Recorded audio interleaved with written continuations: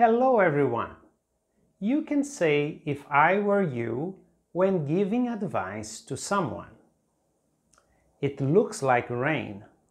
I'd take an umbrella if I were you.